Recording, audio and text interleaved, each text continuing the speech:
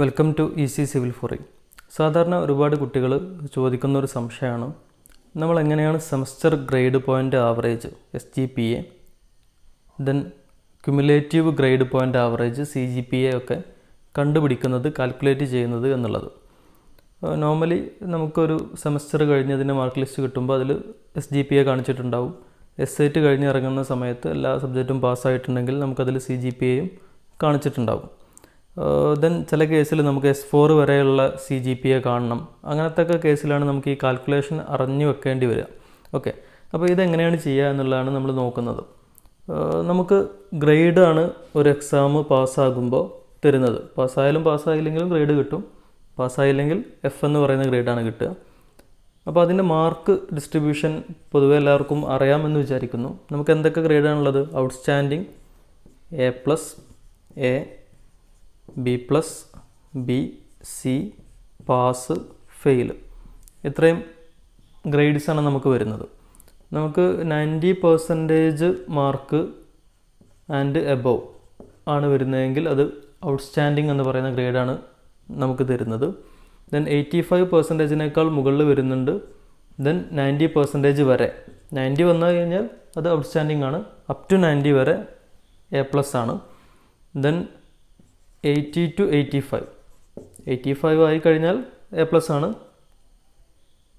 Eighty percentage and above and below eighty five percentage എന്നുള്ളതാണ് condition okay then ഇവിടുത്തെ കേസിൽ seventy to eighty then sixty to seventy then C എന്ന് പറയുമ്പോൾ fifty to sixty pass എന്ന് പറയുമ്പോൾ forty five and above but below fifty percentage then fail എന്ന് പറയുമ്പോൾ below forty five percentage ഇതാണ് നമ്മുടെ ഗ്രേഡ് എന്ന് പറയുന്നത്. ഓക്കെ ഇത് നമുക്ക് അറിയാവുന്ന കാര്യമാണ്. ദെൻ ഈ ഓരോ ഗ്രേഡിനും നമുക്കൊരു ഒരു പോയിന്റ് അസൈൻ ചെയ്ത് തരുന്നുണ്ട്. ഒ എന്ന് പറയുന്ന ഔട്ട്സ്റ്റാൻഡിങ് ഗ്രേഡ് ആണെന്നുണ്ടെങ്കിൽ പത്ത് പോയിന്റാണ് കിട്ടുക. ദെൻ എ പ്ലസ് ആണെന്നുണ്ടെങ്കിൽ നമുക്കവിടെ നയൻ എന്ന് പറയുന്ന ഗ്രേഡാണ് വരുന്നത്.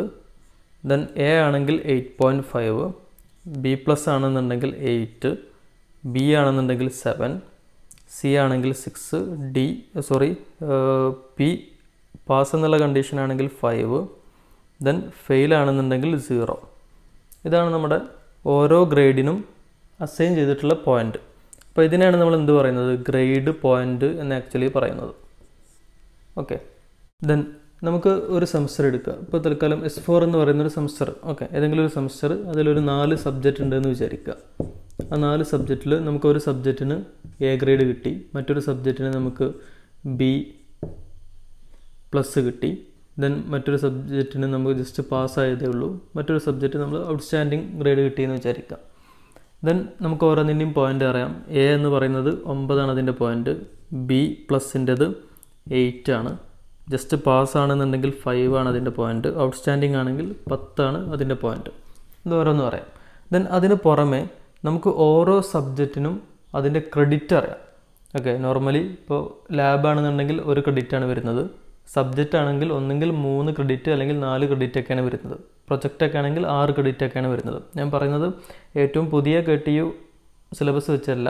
നമ്മളിപ്പോൾ ഓൾറെഡി റണ്ണിങ് ആയിട്ടുള്ള രണ്ടായിരത്തി പതിനഞ്ച് സ്കീം ദെൻ അതിനുശേഷം വന്ന സ്കീമുകളൊക്കെയാണ് രണ്ടായിരത്തി ഇരുപത് സ്കീമിന്റെ കേസല്ല പറയുന്നത്. ഓക്കെ അപ്പോൾ നമ്മുടെ ഒന്നാമത്തെ സബ്ജക്റ്റ് അതിന്റെ ഗ്രേ ക്രെഡിറ്റ് മൂന്ന്. ഓക്കെ ക്രെഡിറ്റാണ് ഇവിടെ എഴുതുന്നത്. ക്രെഡിറ്റ് മൂന്നാണെന്ന് വിചാരിക്കുക. രണ്ടാമത്തെ സബ്ജക്റ്റിന്റെ ക്രെഡിറ്റ് നാലാണ്. മൂന്നാമത്തെ സബ്ജക്റ്റിന്റെയും നാലാണ്. നാലാമത്തെ സബ്ജക്റ്റിന്റെ മൂന്നാണ് ക്രെഡിറ്റ് എന്ന് വിചാരിക്കുക. ഓക്കെ ലാബ് ഉണ്ടെന്നുണ്ടെങ്കിൽ സ്വാഭാവികമായിട്ടും ഒരു ക്രെഡിറ്റാണ് വരിക. സോ നമ്മൾ ചെയ്യേണ്ടത് എന്താണ്? നമുക്ക് കിട്ടിയിട്ടുള്ള ഗ്രേഡ് പോയിന്റ് ഇവിടെ നയൻ ഇന്റു ത്രീ അതിന്റെ ക്രെഡിറ്റുമായി മൾട്ടിപ്ലൈ ചെയ്തു. പ്ലസ് ദെൻ അടുത്ത ആ സബ്ജക്റ്റിന്റെ രണ്ടാമത്തെ സബ്ജക്റ്റിന്റെ ഗ്രേഡ് പോയിന്റ് ഇന്റു അതിന്റെ ക്രെഡിറ്റ് ദെൻ മൂന്നാമത്തെ സബ്ജക്റ്റിന്റെ ഗ്രേഡ് പോയിന്റ് ഇന്റു അതിന്റെ ക്രെഡിറ്റ് പ്ലസ് നാലാമത്തെ സബ്ജക്റ്റിന്റെ ഗ്രേഡ് പോയിന്റ് അതിന്റെ ക്രെഡിറ്റ് എല്ലാം കൂടെ നമ്മൾ മൾട്ടിപ്ലൈ ചെയ്ത് സം ചെയ്തു. ഡിവൈഡഡ് ബൈ നമുക്ക് ടോട്ടൽ എത്ര ക്രെഡിറ്റ് ആ സെമസ്റ്ററിൽ വരുന്നുണ്ട് നോക്കണം. ഇപ്പോൾ നാല് നാല് ദെൻ മൂന്ന് ദെൻ മൂന്ന്. അപ്പോൾ എത്ര വന്നു? പതിനാല് എന്നുള്ളത് വന്നു. സോ ഡിവൈഡഡ് ബൈ ഫോർട്ടീൻ എല്ലാ ക്രെഡിറ്റും കൂടെ നമ്മൾ സം ചെയ്യുന്നു. ഈ കിട്ടുന്നത് എത്രയാണോ അതായിരിക്കും നമ്മുടെ ആ സെമ്മിന്റെ സെമസ്റ്റർ ഗ്രേഡ് പോയിന്റ് ആവറേജ് എന്ന് പറയുന്നത്. അപ്പോൾ ആക്ച്വലി നമ്മൾ എന്താണ് ചെയ്യുന്നത്? നമ്മളിവിടെ ചെയ്തിട്ടുള്ളത് നമുക്ക് എസ് ജി പി എ കാണണം എന്നുണ്ടെങ്കിൽ സെമസ്റ്റർ ഗ്രേഡ് പോയിന്റ് ആവറേജ് കാണണം എന്നുണ്ടെങ്കിൽ സമ്മേഷൻ ഓഫ് നമ്മുടെ ഓരോ സബ്ജക്റ്റിന്റെയും credit into grade point divided by summation of credit ഈ ഒരു ഇക്വേഷൻ യൂസ് ചെയ്തിട്ടാണ് നമ്മൾ C G P A sorry S G P A കാണുന്നത്. സെമസ്റ്റർ ഗ്രേഡ് പോയിന്റ് ആവറേജ് കാണുന്നത്. ഇപ്പോൾ നമ്മൾ സെമസ്റ്റർ ഗ്രേഡ് പോയിന്റ് ആവറേജ് കാണുന്നത് കണ്ടുവച്ചു? ഓക്കെ ഓരോ സബ്ജക്റ്റിന്റെയും ക്രെഡിറ്റ് നമ്മളത് കുറച്ചുകൂടെ വൃത്തിയായിട്ട് എഴുതുകയാണെങ്കിൽ summation of credit of subject multiplied by grade point divided by summation of credit of all subject. Okay അതിൽ പ്രത്യേകം ശ്രദ്ധിക്കുക. സപ്പോസ് നമ്മൾ ഒന്നോ രണ്ടോ സബ്ജക്റ്റിൽ ഫെയിലായി എന്ന് വിചാരിക്കുക. ആ ഫെയിലായതും കൂടെ നമ്മൾ ഇൻക്ലൂഡ് ചെയ്യണം. ഓക്കെ അപ്പോൾ സ്വാഭാവികമായിട്ടും ഫെയിലായത് ഇൻക്ലൂഡ് ചെയ്യുന്ന സമയത്ത് ഗ്രേഡ് പോയിന്റ് ഫെയിലായതിന് സീറോ ആണ്. അപ്പോൾ ഡിനോ ന്യൂമറേറ്ററിൽ അവ സംഗതി വരില്ല. പക്ഷേ ഡിനോമിനേറ്ററിൽ എന്തുണ്ടാവും? നമ്മൾ ടോട്ടൽ ക്രെഡിറ്റ് തന്നെ കണ്ടുപിടിക്കണം. നമ്മൾ ഫെയിലായി എന്ന് വിചാരിച്ച് അത് ഒഴിവാക്കാൻ വകുപ്പില്ല. ഓക്കെ ദെൻ ഇനി നമുക്ക് ക്യുമുലേറ്റീവ് ഗ്രേഡ് പോയിന്റ് കാണണമെന്ന് വിചാരിക്കുക. ഇപ്പോൾ നമുക്ക് ഇപ്പോൾ ഒരു എസ് ഫോറിലുള്ള ഒരു സ്റ്റുഡന്റാണ് എസ് ഫൈവിലാണ് ഇപ്പോൾ പഠിക്കുന്നത്. എസ് ഫോർ വരെയുള്ള സെമസ്റ്ററിൽ റിസൾട്ട് വന്നു എന്ന് വിചാരിക്കുക. ഇപ്പോൾ എസ് വണ്ണിൽ ഏഴാണ് C S G P A കിട്ടിയിട്ടുള്ളത്. Okay S G P A ഏഴാണ് കിട്ടിയിട്ടുള്ളത്. അവിടുത്തെ ടോട്ടൽ ആ സെമസ്റ്ററിലെ ടോട്ടൽ ക്രെഡിറ്റ് എന്ന് പറയുന്നത് ട്വന്റി ത്രീ ആണെന്ന് വിചാരിക്കുക. എല്ലാ സബ്ജക്റ്റിന്റെയും ക്രെഡിറ്റ് ആഡ് ചെയ്തിട്ട് വന്നത് ട്വന്റി ത്രീ ആണെന്ന് വിചാരിക്കുക. എസ് ടുവിന്റെ കേസിൽ നമുക്ക് കിട്ടിയത് സിക്സ് ആണ്. എല്ലാ ക്രെഡിറ്റും കൂടെ എല്ലാ സബ്ജക്റ്റിനും ക്രെഡിറ്റ് ആഡ് ചെയ്യുമ്പോൾ ട്വന്റി ഫോർ ആണ് വന്നിട്ടുള്ളത്. ദെൻ എസ് ത്രീയുടെ കേസ് എടുക്കുമ്പോൾ നമുക്ക് വന്നിട്ടുള്ളത് സിക്സ് പോയിന്റ് ഫൈവ് ആണ്. ക്രെഡിറ്റ് എല്ലാം കൂടെ ആഡ് ചെയ്യുമ്പോൾ ട്വന്റി ഫോർ ആണ് എന്ന് വിചാരിക്കുക. ദെൻ എസ് ഫോർ ആണെന്നുണ്ടെങ്കിൽ നമുക്ക് ഒരു സെവൻ പോയിന്റ് ടു കിട്ടി. ക്രെഡിറ്റ് എല്ലാം കൂടെ ആഡ് ചെയ്യുമ്പോൾ സബ്ജക്റ്റിന്റെ ക്രെഡിറ്റ് എല്ലാം ആഡ് ചെയ്യുമ്പോൾ ട്വന്റി ത്രീ കിട്ടി. അപ്പോൾ നമ്മൾ എന്താണ് ചെയ്യേണ്ടത്? സി ജി പി എ കാണാൻ വേണ്ടിയിട്ട് നമുക്ക് ചെയ്യാൻ പറ്റുന്നത് നമുക്ക് ആ സെമസ്റ്ററിന്റെ S G P A multiplied by അവിടെ എത്ര ക്രെഡിറ്റ്സ് വരുന്നുണ്ട് എത്ര സബ്ജക്റ്റ് വരുന്നുണ്ട് അതിന്റെ ക്രെഡിറ്റിന്റെ total twenty three plus six into twenty four plus six point five into twenty four plus seven point two into twenty three divided by നമ്മൾ ഓരോ ക്രെഡിറ്റും add ചെയ്യണം. Twenty three plus twenty four plus twenty four plus twenty three ഈ ചെയ്ത് കിട്ടുന്നത് എത്രയാണോ? അതാണ് നമ്മുടെ സി ജി പി എ എന്ന് പറയുന്നത്. ഓക്കെ അപ്പോൾ സി ജി പി എയുടെ കേസ് നമ്മൾ കോമൺ ആയിട്ട് ഇവിടെ എഴുതുകയാണെങ്കിൽ സി ജി പി എങ്ങനെ കാണുക കോമൺ ആയിട്ട് എഴുതുകയാണെങ്കിൽ summation of S G P A multiplied by credit of total credit of that semester. നിങ്ങൾ ഏത് സി പി ആണ് എടുക്കുന്നത്? ആ സെമസ്റ്ററിന്റെ total credit divided by summation of total credit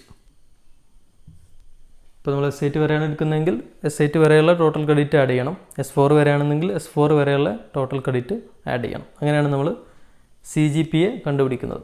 okay അപ്പോൾ എങ്ങനെയാണ് എസ് ജി പി എ കണ്ടുപിടിക്കുന്നത്? എങ്ങനെയാണ് സി ജി പി എ കണ്ടുപിടിക്കുന്നതെന്ന് ക്ലിയർ ആയി എന്ന് വിചാരിക്കുന്നു.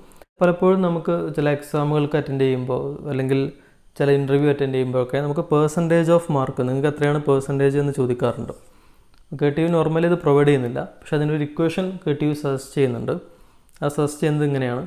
നമുക്ക് എത്രയാണോ പേഴ്സന്റേജ് കിട്ടേണ്ടത്? ആ പേഴ്സന്റേജ് എന്ന് പറയുന്നത് ten into S G P A minus three point seven five ആ സെമസ്റ്ററിന്റെ കേസാണ് എടുക്കുന്നത് percentage of mark in a semester എന്നാണെങ്കിൽ ഈ percentage of percentage of mark in total നമ്മുടെ ബി ടെക് ഡിഗ്രിക്ക് നമുക്ക് എത്ര പെർസെന്റേജ് ഉണ്ട് എന്ന് പറയണമെങ്കിൽ ten into C G P A minus three point seven five ഇതാണ് പേഴ്സന്റേജിലേക്ക് കൺവേർട്ട് ചെയ്യുമ്പോൾ കെ ടി യു പ്രൊവൈഡ് ചെയ്തിട്ടുള്ള ഇതുവരെയുള്ള സിലബ സ്കീമിൽ പ്രൊവൈഡ് ചെയ്തിട്ടുള്ളത്.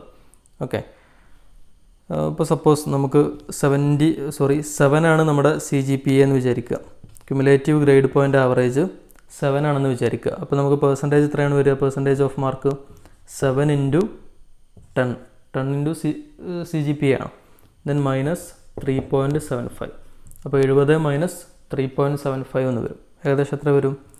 Sixty six point two five percentage മാർക്കായിരിക്കും നമ്മുടേത്. ഓക്കെ. അപ്പോൾ അങ്ങനെയാണ് നമ്മുടെ ഗ്രേഡ് പോയിന്റ് വെച്ച് അല്ലെങ്കിൽ എസ് ജി പി എ അല്ലെങ്കിൽ സി ജി പി എ നമ്മൾ പേഴ്സന്റേജ് മാർക്കിലേക്ക് കൺവേർട്ട് ചെയ്യുന്നത്?